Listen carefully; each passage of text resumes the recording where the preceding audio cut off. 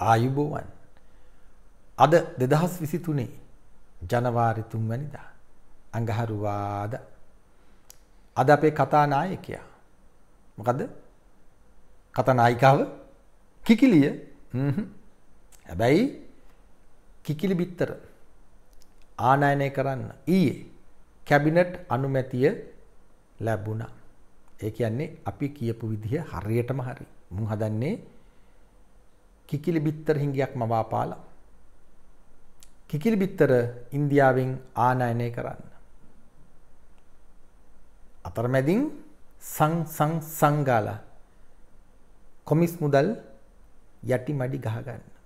එත් එක්කම IMF ආර්ථික ඝාතක ක්‍රියාන්විතයට අදාළව ශ්‍රී ලංකාවේ සුළු පරිමාණ මධ්‍ය පරිමාණ කර්මාන්ත සියල්ල අහවර කරන්න විශේෂයෙන්ම සත්ත්ව පාලනය කුකුළු පාලනය ඇතුළු සත්ව පාලන ක්ෂේත්‍රයම ඉවර කරලා දාන්න. මේ වන විට ඒ සඳහා ඉන්දියාව, චීනය සහ තවත් තරවුකාර රටවල් සහ අදාළ තරවුකරුවන් සූදානමින් ඉන්නේ. අපි මේ ගැන එක දිගටම කතා කරනවා. රාජ්‍ය ව්‍යවසායන් බිඳ දාන්නේ නැතුව විශේෂයෙන්ම සුළු පරිමාණ මධ්‍ය පරිමාණ කර්මාන්ත ඉවර කරන්නේ නැතුව ආහවර කරන්නේ නැතුව රාජ්‍ය බිඳින්න බෑ. කුමන්ත්‍රණය තව දුරටත් 2050 MCC ගමනාන්තයටම සම්බන්ධයි. ඔබ සැක කරන්න එපා අනුමාන කරන්න එපා පවතින තත්ත්වයේ එයයි.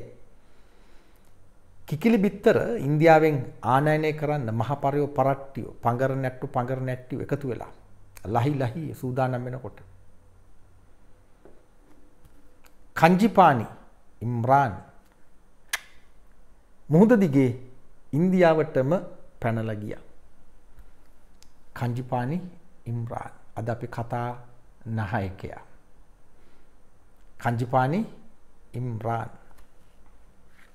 බරපතල තත්ත්වයක්. Underworld gangster Kanjipani Imran sneaks into Tamil Nadu from Sri Lanka. දෙදහස් විසි දෙක දෙසැම්බ තිස් එක් වැනිදා. දින තුනකට කලින්. රාත්‍රී එකොළහයි විසි අටට චෙන්නයි වාර්තා තහවුරු කරනවා. වාර්තාකරු එස් විජය කුමාර් ඇතුළලා තියෙන්නේ රාමේස්වරන් හරහා දෙසැම්බර් 25 වෙනිදා රාමන්තපුරම් දිස්ත්‍රික්කේ වෙරළතීරේ කංජිපානි ඉම්රාන් තවත් පිරිසක් සමග සැරිසරනවා කියලා බුද්ධ්‍යංශ තහවුරු කරගෙන තියෙනවා. ඒ අනුව තමිල්නාඩු බුද්ධ්‍යංශ ප්‍රධානීන් පොලිස් ප්‍රධානීන්ට ඒ වගේ දැනුම් දීලා විමර්ශන ආරම්භ කර තිබෙන බව ඔවුන් විස්තර කරනවා. හැබැයි මේ සම්බන්ධයෙන් ශ්‍රී ලංකා රාජ්‍ය අදාළ බලධාරීන් මොන වගේ පියවරක් අරගෙනද කියලා අපි තාම දන්නේ නැහැ. ඒ කියන්නේ අපි විමසිල්ලෙන්. මොහමඩ් නජීම් මොහමඩ් ඉම්රාන් හෙවත් කංජිපානි ඉම්රාන් මද්‍රව්‍ය ජාවාරමට සහ තවත් අපරාධ රසකට සම්බන්ධ නමගිය පාතාල නායකයෙක්. හැබැයි පාතාලේ පාතාල නායකයෝ කියනකොටම යලි නිදහස් සංවාද වැඩබිමේ අපරාධ පිළිබඳ මහා සංවාදය මෙතැනට සම්බන්ධ වෙනවා. චාපවන් ජියෝපොලිටික්ස් සංවාද මාලාව මැද්දේ අපි ඩිස්සෝඩෙන් ශ්‍රී ලංකා අපරාධ සඳහා නීති නීති අධිපත්‍යය නවන හැටි සංවාදයට ගන්න. ඒත් එක්කම චාපවන් geopolitics to defeat terrorism regime සම්බන්ධයි. to defeat drugs mafia රිජුම් සම්බන්ධයි. ඒ මහා සංවාදත් මේ සංවාදයට අදාළයි. ඒ අනුව ලෝකයේම මේ මොහොතේ පවතින්නේ ආර්ථික තත්ත්වයන් සලකා බලන කල පිරමීඩයක් විදිහට. පිරමීඩයේ මුදුනත ප්‍රාග්ධන බලය තිබෙන පවුල් කීපයක්. පහලට එන්න එන්න ආර්ථික විෂමතාව සමාජ විෂමතාව මත සමාජයේ දිගහැරිලා පාදම හැදෙන්නේ ගොදුරු බිමක් විදිහට. සූරාකෑමට ලක්වන ගොදුරු බවට පත්වන මහා සමාජ තීරුවක් තමයි ලෝකේ පුරාම වැඩියෙන් වෙසෙන්නේ පවතින්නේ. ඒ අනුව පාතාලේ නමින් අපි හඳුන්වන පාතාල නායකින් ලෙස අප හඳුන්වන.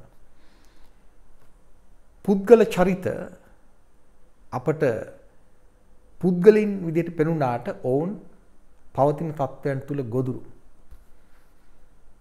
victims of the systems victims of the history.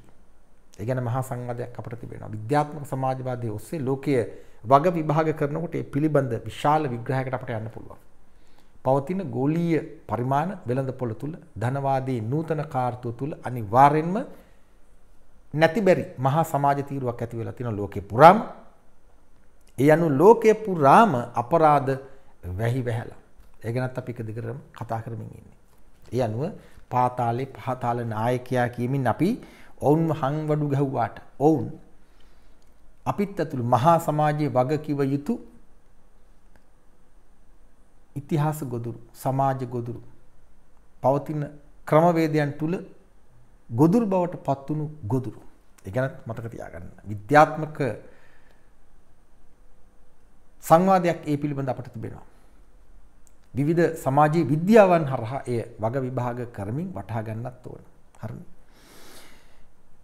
කංජිපානි Imran අත්අඩංගුවට පත් වෙන්නේ 2019 පෙබරවාරි මාසයේදී ඩුබායි සාදයකදී. එය ඒ දවස්වල උණුසුම් ප්‍රවෘත්ති මවන සිදුවීම් පළක්.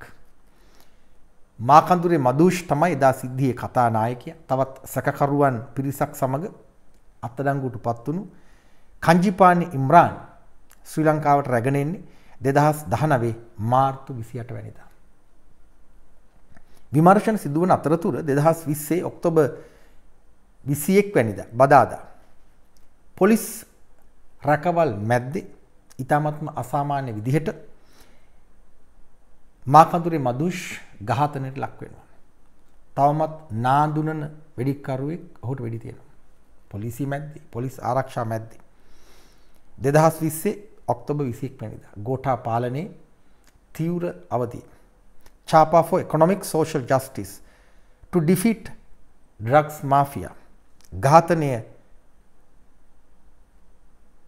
ඝාතනය වුණේ මාකඳුරි මදුෂ්ට. අපි ප්‍රශ්න කරන්න පටන් ගත්තා 2020 ඔක්තෝබර් 21 වෙනිදා. මාකඳුරි මදුෂ් සතුව දේශපාලන බලාධිකාරී විවිධ දේශපාලන නියෝජිතයන් තරව්කරුවන්ගේ නම් සහිත ලයිස්තුවක් තිබුණාය. ඒ තොරතුරු අපරාධ පරීක්ෂණ දෙපාර්තමේන්තුවට දීලා තිබුණාය. මාකඳුරේ මදුෂ් නිදහස් වීම කවදා හෝ අදාළ දේශපාලන බලාධිකාරිය සහ අදාළ තරව්කරුවන්ගේ තර්ජනයට හේතු වෙනවාය. ඒ අනුව රහස් අකාමකා දාන රහස් මරා දාන්න මාකඳුරේ මදුෂ්ට රාජ්‍ය අනුග්‍රහය මත වෙඩි තැබුවාය කියන කතාව තමයි අපට දැනට පිළිගන්න සිද්ධ වෙන්නේ. අපි කියන්නේ පැහැදිලි විග්‍රහයක් එදා කෙරුවා ඔක්තෝබර් 21 වෙනිදා 2020. කංජිපානි ඉම්රාන් පොලිස් නිලධාරියෙකුට දුරකථනයෙන් මරණීය තර්ජනය කෙරුවාය කියන චෝදනාවට මුලින්ම ඔහු අත්අඩංගුවට අරගෙන රිමාන්ඩ් කරන්නේ ත්‍රස්තවාදී වැළැක්වීම පනත යටතේ. ජංගි අරගලය ඔයස්සේ වර්ධනය වෙලා ක්‍රමිකව ඉදිරියට එනකොට එක දිගටම ත්‍රස්තවාදී වැළැක්වීමේ පනතට ත්‍රස්ත පනත කියලා හඳුන්වා දෙමින් එය ත්‍රස්ත පනත ලෙස හඳුන්වා දෙමින් එය අහෝසි කිරීමට අවලංගු කිරීමට මැදිහත් වීම කරන්න පටන් ගන්නවා. මතවාදයක් ඇති කරන සමාජ මනෝභාවයක් ඇති කරනවා. අහිංසක කොල්ලෝ අත්අඩංගුවට ගන්න ත්‍රස්තවාදී වැළැක්වීමේ පනතෙන් කියලා කතාවක් හදනවා. අවසානයේදී මේ කතාව එන්නේ දැනට පොලිස් ඔඩොක්කුවේ හුරතල් වන අපේ පොරමුලාගේ කොළුව වසන්ත මුදලිගේ දක්වා. වසන්ත මුදලිගේ තමයි දැන් කතා නායකයා. නේ?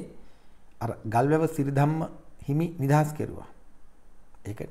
එතකොට මිනිස්සු හිතනවා වසන්ත මුදලිගේ අත්අඩංගුවට අරගෙන අතපය කඩලා කොල්ලට මරණී වේදනාවක් දීලා තින්නේ ත්‍රස්තවාදී වැළැක්වීම පනති.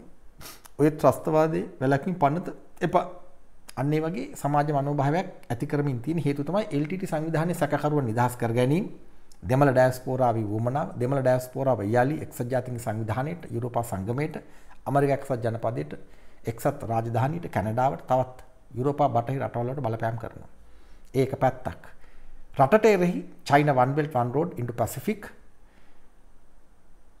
භූදේශපාලනික සන්ධානයේ අදාළ දෙමළ ඩයස්පෝරාවේ වුමනාවන් පාවිච්චි කරනවා. රට අරාජික කරන්න මේ තත්ත්ව ගැන අපි එක දිගටම කතා කරනවා. ඒ අනුව ත්‍රස්තවාද දෙලකින් පනත අහෝසි කරන්න හදන්නේ.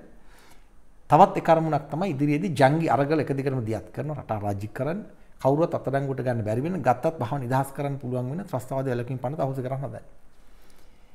මේ ජංගි අරගලයට බලපාන ජංගි අරගලයේ දේශපාලනයත් කංජිපානි ඉම්රාන්ට බලපෑවා. මාර කතාවක්. කිසි කෙනෙක් නොදන්න කතාවක්.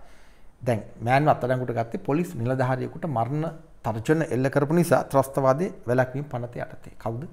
කංජිපානි ඉම්රාන්.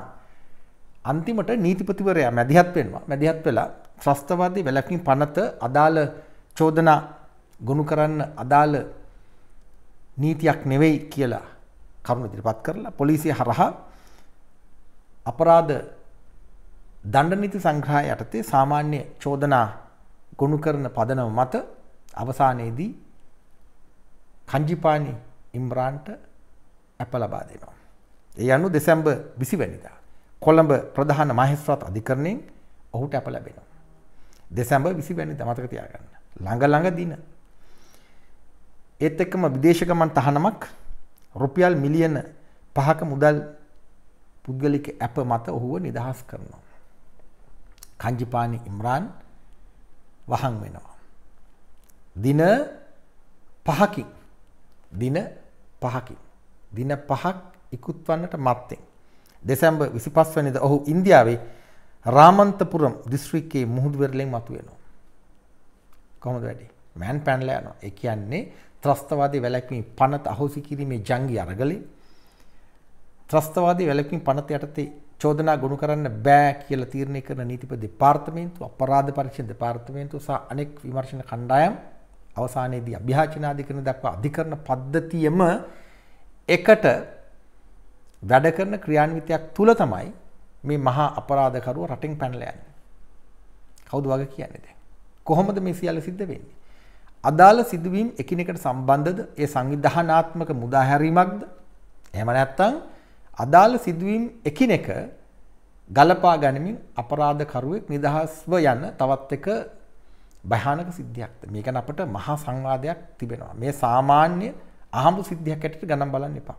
මා කඳුරේ මදුෂ් වෙඩිකන්නේ පොලිස් රකවල් මැද්දේ රාජ්‍ය අනුග්‍රහය යට ඔහුගේ අනෙක් සගයා කංජිපානි ඉම්රාන් ඉන්දියාවට පැනල යන්නේත් ඉතාමත්ම අසාමාන්‍ය තත්ත්වයක් යටතේ මෙය කල්තියා අපරාධ පරීක්ෂණ දෙපාර්තමේන්තුව සැලසුම් කළ මෙහෙයුමක්ද මෑන්න පන්න නීතිපති දෙපාර්තමේන්තුවත් ඒ සඳහා සහාය ලබා දුන්නාද? නීතිපතිවරයාත් අපි දන්නේ නැහැ කිසිවක්. අධිකරණය කොහොමද මේ සියල්ල මේ විදිහට ගණන් බලන්නේ? මේ අපරාධ සුලමුල අධිකරණය තුල සාකච්ඡාවට ගැනෙන්නේ නැද්ද? ඉදිරිපත් කරන බී වාර්තා ඇතුළේ චෝදනා ලයිස්තු සැලකිලට ගන්නෙම නැද්ද? සිදුවන්නේ කුමක්ද? disorder in Sri Lanka වර්තමාන මහාධිකරණ මිනිසුරු ගිහාන් කුලතුංගගේ පියා ශ්‍රේෂ්ඨාධිකරණ වෙනසුරු KMMB කුලතුංග සමග අපි ගොඩනගන සංවාදය නිදහස් සංවාද වැඩබිමි. රට තුළ විශාල ඛේදවාචකයක් නිර්මාණය වෙමින් තිබෙනවා. අපි ගැන එක දිගටම කතා කරමින් ඉන්නේ. සිදුවන්නේ කුමක්ද හිතා ගන්නවත් බෑ. අපි මේ වෙනකොට පාසල් තුලට අයිස් ඇතුළු මද්‍රව්‍ය ඇතුළු වීම පිළිබඳ සාකච්ඡාවක ඉන්නේ. බොහෝ දෙනෙක් දේශපාලන බලාධිකාරිය වරදට හසු කරමින් ඊළඟ ජනාධිපතිවරයා අහවලා විදිහට තෝරගත්තොත් මේ වැඩේ නවත්තන්න පුළුවන්. අපේ ආණ්ඩුවක් කරන් දුන්නොත් අපි මේ වැඩේ නවත්තනවා ආදි වශයෙන්. එලි රිලා නටු නටන අතරතුර අපි මහා සංවාදයක් ගොඩනගමින් ඉන්න මේ මද්ද්‍රව්‍ය පිළිබඳ සංවාදයේ දේශ සීමාවන් අතික්‍රමණය කරන ගෝලීය ප්‍රශ්නයක් මේ කියන තරමටම සිල්ලර තොරම්බල් කළ හැකි සාමාන්‍ය තත්ත්වයක් නොවේය මේ සඳහා විශාල දේශපාලන සංවාදයක් අවශ්‍යයි ඒත් එක්කම සමාජ විද්‍යාත්මක සොයා බැලීමක් අත්‍යවශ්‍යය කියලා අපි ගම් බිම්වල පාසල් මට්ටමින් විශේෂයෙන්ම මේ සංවාදය ගොඩනගමින් ඉන්නේ. ඒ අනුව ඊටපතම පැහැදිලි කංජිපානි ඉම්රාන්ගේ සිද්ධිය සාමාන්‍ය සිද්ධියක් හැටියට අපි ගත්තොත් අපට කෙලවෙනවා. මේ යට තිබෙන තවත් අක්මුල් අප නොදන්න කුප්‍රකට සම්බන්ධතා පිළිබඳ වග විභාග කරන්න ඕන. එතකොට තමයි අපට මේ රට වෙනුවෙන් යමක් කරන්න පුළුවන්. කංජිපාන ඉම්රාන් කියන එක පුද්ගලෙක් විතරයි. මේ සමස්ත කතාව දෙස බලනකොට රටේ නීති නීති අධිපත්‍ය, යුක්තිය පසඳලීමේ ක්‍රියාදාමය. අපරාධ ක්‍රමවේද අපරාධ විද්‍යාව ඒ විද්‍යාවක් යලි ඒත් එක්කම අපරාධ මර්ධනය කිරීමේ විද්‍යාව එයත් විද්‍යාවක්. ඒත් එක්කම සමාජ විද්‍යාවන් පිළිබඳ ගැඹුරු විශ්ලේෂණ දැන් අප ඉදිරියට එනවා. සිදුවන්නේ කුමක්ද? සිදුව හැකි කුමක්ද? අපි ඉතාමත් පරිස්සමට මේ සියල්ල වග විභාග කරන්න ඕන. ඊළඟ මැතිවරණයට තොරම්බල් කරන කතාවක් හැටියට මේ කතාව ගත්තොත් කාගේ හරි ඇඟේ එල්ලලා මාරුනොත් කෙලම වෙනවා. බරපතල තත්ත්වයක්. ඒත් එක්කම ඔබට කියන්න ඕන 2019 පෙබරවාරි 11 වෙනිදා අපි විශේෂ ලිපියක් ලියනවා. ඒත් එතකොට උදුල් උදුල් ගැන උදුල් ප්‍රේමරත්න නීතිඥ උදුල් ප්‍රේමරත්න. ඔහු ජවීපේ ක්‍රියාකාරිකෙක් අන්තර් විශ්වවිද්‍යාල ශිෂ්‍ය බල මණ්ඩලයේ හිටපු කැඳවුම්කරු කෙනෙක්. පසු අන්තරයටත් සම්බන්ධ වෙනවා. දැන් ඔහු අන්තරයට වැඩ කරන බව තමයි පේන්නේ. සයිටම් විරෝධී අරගලයේ වෙලාවේ අන්තරේනේ අන්තරය වෙනුවෙන් ඔහු ශිෂ්‍ය පෙරමුණු වල හිටියා. මාත් ඔහු සමග හිටගෙන හිටියා. විදර්ශන කන්නංකර උදුල් ප්‍රේමරත්න මම අපි තුන් දෙනාම එකට මුණ ගැහෙන චාපෑට යුනිවර්සිටිස් රුහුණු යුනිවර්සිටි බලන්නේ මේ සංවාද මාලාවෙත් අපි එකට ඉන්නවා. උදුල් ප්‍රේමරත්න මේ මාකන්දුරේ මදුෂ් ඇතුළු අපරාධකරුවන් වෙනුවෙන් පෙනී හිටිනවා. ඔහු ඩුබායි දක්වා පියාසර කරනවා. අපි ප්‍රශ්න කරන්නේ හරි. නීතිඥවරයෙකුට අයිතිය තියෙනවා. නීතිඥවරයාට කියන්න බෑ මට මේ නඩුවට පෙනී හිටින්න බෑ කියලා. අති විශේෂ තත්වයක් යටතේ වුණත් එහෙම කරන්න බෑ. එහෙම කරන වෙලාවල් තියෙනවා. ළමයෙකුට එරෙහිව කරන අපරාධයක් වෙනුවෙන් අපරාධකරුව වෙනුවෙන් ලෝකේ පුරාම සමහර විට නීතිඥවරු ටිකක් පස්ස ගහනවා. හැබැයි එහෙම කරන්නත් බෑ පොතේ හැටියට. අපට තීරණයක් ගන්න බෑනේ. කල්තියා කිසිවෙකුටත් අධිකරණයෙන් පිට තීරණ ගන්න බෑ බැලු බැල්මට. ඒ අනුව එය අවිද්‍යාත්මකයි. කෙසේ හෝ උදුල් ප්‍රේමරත්න නීතිඥවරයා මේ වෙනුවෙන් පෙනී හිටිනවා. අපි වෘත්තීය මට්ටමේ සංවාදයක් ගොඩනගමින් අහනවා ඒත් එතකොට උදුල් කියලා. බලන්න www.nidahaslanka.com වෙබ් අඩවියේ මේ ලිපිය තියෙනවා. ඒත් එතකොට උදුල්. දැන් මේ වෙනකොට මේ ලිපිය මුහුණු පොත ඇතුළු සමාජ මාධ්‍ය අවකාශ කිහිපයකම යලිත් ෂෙයා කරලා තියෙන ඔබට කියවන්න. දැනුමෙන් තමයි මේ සංවාදය ගොඩනගා ගන්න පුළුවන්. මේ චෝදනාව ජවීපෙට එහෙම නැත්නම් අන්තරයට පෙරටු ගාමීන්ට නෙවෙයි. මේ වෘත්තියමය ප්‍රශ්නයක්. වෘත්තිමය සංවාදයකට අදාළ ප්‍රශ්නයක්. ලෝකේ වෙනස් කරන්න කතා කරන නීතිඥවරුම යලි අපරාධකරුවන් වෙනුවෙන් පෙනී හිටිනකොට කොහොමද මේ වැඩි බේරගන්නේ? මේ අතින් අපරාධවලට විරුද්ධව අරගල කරනවා. මේ අතින් අපරාධ කරුවන් වෙනුවෙන් පෙනී හිටිනවා. ප්‍රශ්නයක් තියෙනවා. හොඳ වෙනුවෙන් නරක වෙනුවෙන් එකවර පෙනී හිටිනවා. දුෂ්ටයා වම් අත වීරයා දකුණු අත. කොහොමද මේ ගනුදෙනු බේරගන්නේ? මහා සංවාදයක් අප ඉදිරියේ තිබෙනවා. මේ පැත්තෙන් නම් මේ කිසිවකට මුහුණ දෙන්න බෑ.